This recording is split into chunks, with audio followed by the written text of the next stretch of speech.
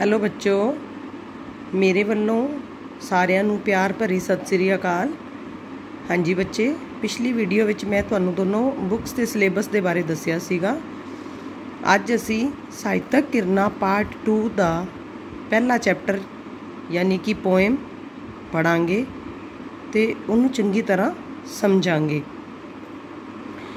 ਇਹ ਤੁਹਾਡੀ ਸਾਹਿਤਕ ਕਿਰਨਾ ਪਾਰਟ 2 ਹੈ ਤੇ ਦੂਸਰੀ ਜਿਹੜੀ ਬੁੱਕ ਹੈ ਉਹ ਸਾਹਿਤਕ ਰੰਗ ਪਾਰਟ 2 ਹੈ ਤੇ ਜਿਹੜੀ ਗਾਈਡ ਹੈ ਉਹ ਐਮਬੀਡੀ ਸੁਪਰ ਰੀਫਰੈਸ਼ਰ ਕਲਾਸ 10th ਵਾਸਤੇ। ਕਲਾਸ 9th ਦੀ ਅਲੱਗ ਹੈ ਤੇ ਕਲਾਸ 10th ਦੀ ਅਲੱਗ ਹੈ। ਜੀ ਬੱਚੇ ਪੋਇਮ ਦਾ ਨਾਮ ਹੈ ਪੋਇਮ ਦਾ ਨਾਮ ਹੈ ਗੋੜੀ ਬੈਰਾਗਨ, ਮਹੱਲਾ ਤੀਜਾ। ਇਹ ਗੁਰੂ ਅਮਰਦਾਸ ਜੀ ਦੁਆਰਾ ਲਿਖੀ ਗਈ ਹੈ। ਮਨਮੁਖ ਗਰਬ ਨਾ ਪਾਇਓ, ਅਗਿਆਨ ਇਆਨੇ, ਸਤਗੁਰੂ ਸੇਵਾ ਨਾ ਕਰੀਏ, ਫਿਰ ਫਿਰ ਪਛਤਾਨੇ। ਗਰਭ ਜੋਨ ਨਿਵਾਸ ਪਾਈਦੇ ਗਰਬੇ ਗਲ ਜਾਣੇ, ਮੇਰੇ ਕਰਤੇ ਐਵੇਂ ਭਾਵ ਦਾ ਮਨਮੁਖ ਪਰਮਾਨ। ਬੱਚੇ, ਇਹ ਤੁਹਾਡੀ ਪੋਇਮ ਦਾ ਪਹਿਲਾ ਸਟੈਂਜਾ ਹੈ। ਇਸ ਨੂੰ ਅਸੀਂ, ਇਸ ਦੇ ਵਿੱਚੋਂ ਕੁਐਸਚਨਸ ਵੀ ਲਿਖ ਸਕਦੇ ਹਾਂ। ਛੋਟੇ ਛੋਟੇ ਕੁਐਸਚਨ ਵੀ ਬਣ ਸਕਦੇ ਹਨ, ਵੱਡੇ ਕੁਐਸਚਨ ਵੀ ਬਣ ਸਕਦੇ ਹਨ ਤੇ ਇਸ ਦਾ ਸਰਲਾਰਥ ਵੀ ਆ ਸਕਦਾ ਹੈ। ਸਰਲਰਥ ਦਾ ਮਤਲਬ ਹੈ ਪ੍ਰਸੰਗ ਸਹਿਤ ਵਿਆਖਿਆ। ਪਹਿਲੇ ਅਸੀਂ ਇਹਦਾ ਪ੍ਰਸੰਗ ਦੇਵਾਂਗੇ, ਉਸ ਤੋਂ ਬਾਅਦ ਇਸ ਟੈਂਜੇ ਦੀ ਵਿਆਖਿਆ ਕਰਾਂਗੇ, ਉਹਦਾ ਅਰਥ ਦੱਸਾਂਗੇ।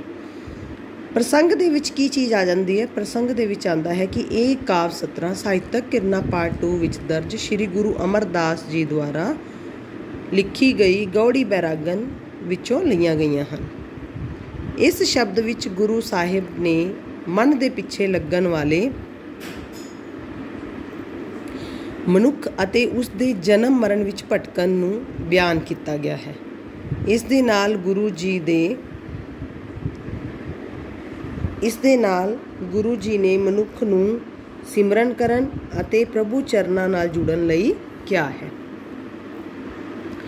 ਮਨਮੁਖ ਗਰਬ ਨਾ ਪਾਇਓ, ਅਗਿਆਨ ਇਆਨੇ, ਸਤਗੁਰੂ ਸੇਵਾ ਨਾ ਕਰਹੀ, ਫਿਰ ਫਿਰ ਪਛਤਾਨੇ।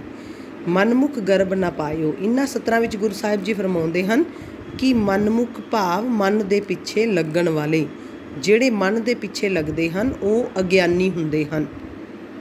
ਉਹ ਅਗਿਆਨੀ ਹੁੰਦੇ ਹਨ, ਉਹਨਾਂ ਦੇ ਅੰਦਰ ਹੰਕਾਰ ਭਰਿਆ ਹੁੰਦਾ ਹੈ। ਸਤਿਗੁਰੂ ਸੇਵਾ ਨਾ ਕਰਹੀ, ਫਿਰ ਫਿਰ ਪਛਤਾਨੇ। ਹੰਕਾਰ ਕਰਕੇ ਉਹ ਸਤਿਗੁਰੂ ਦੀ ਸੇਵਾ ਤੋਂ ਦੂਰ ਦੂਰ ਰਹਿੰਦੇ ਹਨ। ਸਤਿਗੁਰੂ ਦੀ ਸੇਵਾ ਨਹੀਂ ਕਰਦੇ ਅਤੇ ਬਾਅਦ ਚੋਂ ਫਿਰ ਇਸ ਚੀਜ਼ ਨੂੰ ਪਛਤਾਉਂਦੇ ਹਨ। ਗਰਭ ਜੋਨੀ ਪਾਏ ਦੇ ਗਰਭੇ ਗਲ ਜਾਣੇ, ਮੇਰੇ ਕਰਤੇ ਐਵੇਂ ਭਾਵ ਦਾ ਮਨਮੁਖ ਪਰਮਾਨੇ। ਅਜਿਹਾ ਮਨੁੱਖ ਜਨਮਾ ਮਰਨ ਜਨਮ ਮਰਨ ਦੇ ਚੱਕਰਾਂ ਵਿੱਚ ਪਿਆ ਰਹਿੰਦਾ ਹੈ। ਗਰਭ ਜੋਨੀ ਵਾਸ ਪਾਈ ਦੇ ਗਰਭ ਜੋਨੀ ਦਾ ਮਤਲਬ ਹੈ ਕਿ ਜਨਮ ਮਰਨ ਦੇ ਚੱਕਰ ਦੇ ਵਿੱਚ ਪਿਆ ਰਹਿੰਦਾ ਹੈ ਅਤੇ ਵਾਰ-ਵਾਰ ਉਹ ਮਨੁੱਖ ਦੇ ਜਨਮ ਦੇ ਵਿੱਚ ਆਂਦਾ ਹੈ ਤੇ ਜਿਸ ਦੇ ਨਾਲ ਉਸ ਦਾ ਆਤਮਿਕ ਜੀਵਨ ਗਲ ਜਾਂਦਾ ਹੈ। ਮੇਰੇ ਕਰਤੇ ਐਵੇਂ ਭਾਵ ਦਾ ਮਨਮੁਖ ਪਰਮਾਨੇ, ਗੁਰੂ ਸਾਹਿਬ ਜੀ ਫਰਮਾਉਂਦੇ ਹਨ ਕਿ ਜਿਹੜੀ ਕਿ ਪਰਮਾਤਮਾ ਨੂੰ ਇਹ ਗੱਲ ਚੰਗੀ ਨਹੀਂ ਲੱਗਦੀ ਕਿ ਮਨੁੱਖ ਇਨਸਾਨ ਜਨਮ ਮਰਨ ਦੇ ਗੇੜ ਦੇ ਵਿੱਚ ਪਿਆ ਰਹਿੰਦਾ ਹੈ। ਉਹਨਾਂ ਦਾ ਕਹਿਣ ਦਾ ਭਾਵ ਇਹ ਹੈ ਕਿ ਤੁਸੀਂ ਗੁਰਮੁਖ ਬਣੋ, ਤੁਸੀਂ ਮਨਮੁਖ ਨਾ ਬਣੋ। ਮਨਮੁਖ ਦਾ ਮਤਲਬ ਹੁੰਦਾ ਹੈ ਮਨ ਦੇ ਪਿੱਛੇ ਲੱਗਣ ਵਾਲੇ ਤੇ ਗੁਰਮੁਖ ਦਾ ਮਤਲਬ ਹੁੰਦਾ ਹੈ ਗੁਰੂ ਦੇ ਪਿੱਛੇ ਲੱਗਣ ਵਾਲੇ। ਇਹ ਪੂਰੇ ਸਟੈਂਜੇ ਦੇ ਵਿੱਚ ਇਹ ਗੱਲ ਕਹੀ ਗਈ ਹੈ ਕਿ ਜਿਹੜੇ ਮਨਮੁਖ ਹੁੰਦੇ ਹਨ, ਉਹ ਅਗਿਆਨ ਦੇ ਭਰੇ ਹੁੰਦੇ ਹਨ, ਉਹ ਅਗਿਆਨੀ ਹੁੰਦੇ ਹਨ, ਉਹ ਹੰਕਾਰ ਦੇ ਭਰੇ ਹੁੰਦੇ ਹਨ। ਉਹ ਸਤਿਗੁਰੂ ਦੀ ਸੇਵਾ ਨਹੀਂ ਕਰਦੇ। ਸਤਿਗੁਰੂ ਦੀ ਸੇਵਾ ਕਰਨਾ ਤਾਂ ਉਹ ਦੂਰ ਦੂਰ ਤੱਕ ਨਹੀਂ ਸੋਚਦੇ। ਲੇਕਿਨ ਜਦੋਂ ਸਤਿਗੁਰ ਦੀ ਸੇਵਾ ਨਹੀਂ ਕਰਦੇ ਤਾਂ ਬਾਅਦ ਤੋਂ ਬਾਅਦ ਚੋਂ ਪਛਤਾਉਂਦੇ ਹਨ। ਗਰਭ ਜੋਨੀ ਵਾਸ ਪਾਈਦੇ ਵਾਰ-ਵਾਰ ਜਨਮ ਮਰਨ ਦੇ ਚੱਕਰ ਵਿੱਚ ਆਉਂਦੇ ਹਨ ਤੇ ਆਪਦੇ ਮਨੁੱਖੀ ਜੀਵਨ ਨੂੰ ਖਤਮ ਕਰ ਦਿੰਦੇ ਹਨ, ਖਰਾਬ ਕਰ ਦਿੰਦੇ ਹਨ। ਮੇਰੇ ਕਰਤੇ ਐਵੇਂ ਭਾਵ ਦਾ ਮਨਮੁਖ ਪਰਮਾਨੇ ਇੱਥੇ ਗੁਰੂ ਅਮਰਦਾਸ ਜੀ ਕਹਿੰਦੇ ਹਨ ਕਿ ਮੈਨੂੰ ਇਹ ਚੀਜ਼ ਚੰਗੀ ਨਹੀਂ ਲੱਗਦੀ ਕਿ ਜਿਹੜੇ ਮਨਮੁਖ ਹੁੰਦੇ ਹਨ, ਉਹ ਆਪਦੇ ਮਨ ਦੀ ਕਰਦੇ ਹਨ। ਉਹਨਾਂ ਨੂੰ ਆਪਦੇ ਮਨ ਦੀ ਨਾ ਕਰਕੇ ਗੁਰਮੁਖ ਦੇ ਪਿੱਛੇ ਲੱਗਣਾ ਚਾਹੀਦਾ ਹੈ ਤਾਂ ਕਿ ਉਹ ਜਨਮ ਮਰਨ ਦੇ ਚੱਕਰਾਂ ਦੇ ਵਿੱਚੋਂ ਛੁੱਟ ਸਕਣ, ਜਨਮ ਮਰਨ ਦੇ ਚੱਕਰਾਂ ਦੇ ਵਿੱਚੋਂ ਨਿਕਲ ਜਾਣ। ਹਾਂਜੀ ਬੱਚੇ, ਅਗਲਾ ਅਸੀਂ ਸਟੈਂਜਾ ਪੜਾਂਗੇ ਮੇਰੇ ਹਰੀ ਪ੍ਰਭੂ ਲੇਖ ਲਿਖਾਇਆ ਧੁਰ ਮਸਤਕ ਪੂਰਾ, ਹਰੀ ਹਰੀ ਨਾਮ ਤੇ ਆਇਆ, ਭੇਟਿਆ ਗੁਰੂ ਸੂਰਾ। ਮੇਰਾ ਪਿਤਾ ਮਾਤਾ ਹਰੀ ਨਾਮ ਹੈ, ਹਰੀ ਬੰਦਪ ਵੀਰਾ ਹਰੀ ਹਰੀ ਬਖਸ਼ੇ ਮਿਲਾਏ ਪ੍ਰਭੂ ਜਨ ਨਾਨਕ ਕੀਰਾ। ਹਾਂਜੀ ਬੱਚੇ, ਇਹਦੀ ਪਹਿਲੀ ਲਾਈਨ ਹੈ, ਮੇਰੇ ਮੇਰੇ ਹਰੀ ਪ੍ਰਭੂ ਲੇਖ ਲਿਖਾਇਆ ਧੁਰਮਸਤਕ ਪੂਰਾ। ਜਿਹੜਾ ਕੁਝ ਅਸੀਂ, ਜਿਹੜੇ ਪਰਮਾਤਮਾ ਹੈ, ਹਰੀ ਦਾ ਨਾਮ ਹੈ, ਜਿਹੜਾ ਉਹ ਸਾਡੇ ਲੇਖਾਂ ਦੇ ਵਿੱਚ ਲਿਖ ਦਿੰਦਾ ਹੈ, ਅਸੀਂ ਉਸ ਨੂੰ ਪੂਰਾ ਕਰਦੇ ਹਾਂ। ਮੇਰੇ ਹਰੀ ਪ੍ਰਭੂ ਲੇਖ ਲਿਖਾਇਆ ਤੁਰਮਸਤਕ ਪੂਰਾ। ਇਹਦੇ ਵਿੱਚ ਜਿਹੜੇ ਗੁਰੂ ਅਮਰਦਾਸ ਜੀ ਨੇ ਉਹ ਫਰਮਾਉਂਦੇ ਹਨ ਕਿ ਮਨੁੱਖ ਦੇ ਮੱਥੇ ਤੇ ਸਤਿਗੁਰੂ ਨੇ ਜੋ ਕੁਝ ਲਿਖ ਦਿੱਤਾ ਹੈ। ਜਿਹੋ ਜਿਹਾ ਜੇ ਉਹਦੇ ਸਿਰ ਤੇ ਕਿਰਪਾ ਲਿਖ ਕੇ ਦਿੱਤੀ ਹੈ ਕਿ ਤੇਰੇ ਸਿਰ ਦੇ ਉੱਪਰ ਗੁਰੂ ਦੀ ਕਿਰਪਾ ਰਹੇਗੀ, ਤਾਂ ਉਸ ਦੇ ਸਿਰ ਦੇ ਉੱਪਰ ਗੁਰੂ ਦੀ ਕਿਰਪਾ ਸਦਕਾ ਉਹ ਪਰਮਾਤਮਾ ਦੀ ਭਗਤੀ ਨਾਲ ਜੁੜਿਆ ਹੀ ਰਹਿੰਦਾ ਹੈ।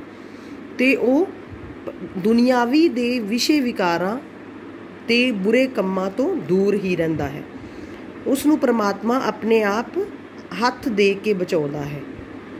ਜਦੋਂ ਉਸ ਨੂੰ ਪ੍ਰਮਾਤਮਾ ਹੱਥ ਦੇ ਕੇ ਬਚਾਉਂਦਾ ਹੈ ਤਾਂ ਉਹਨੂੰ ਇੰਜ ਪ੍ਰਤੀਤ ਹੁੰਦਾ ਹੈ ਜਿਵੇਂ ਕਿ ਉਸ ਨੂੰ ਗੁਰੂ ਸੂਰਮਾ ਮਿਲ ਗਿਆ ਹੈ। ਹਰੀ ਹਰੀ ਨਾਮ ਤੇ ਆਇਆ ਭੇਟਿਆ ਗੁਰਸੂਰਾ, ਜਿਹੜਾ ਵਾਰ-ਵਾਰ ਪਰਮਾਤਮਾ ਦਾ ਨਾਮ ਤੇ ਆਂਦਾ ਹੈ, ਉਹ ਗੁਰੂ ਨੂੰ ਹੀ ਭੇਟਿਆ ਜਾਂਦਾ ਹੈ। ਕਹਿਣ ਦਾ ਮਤਲਬ ਉਹ ਗੁਰੂ ਦੇ ਲੜ ਹੀ ਲੱਗ ਜਾਂਦਾ ਹੈ। ਮੇਰਾ ਪਿਤਾ ਮਾਤਾ ਹਰੀ ਨਾਮ ਹੈ ਹਰੀ ਬੰਦਪ ਵੀਰਾ।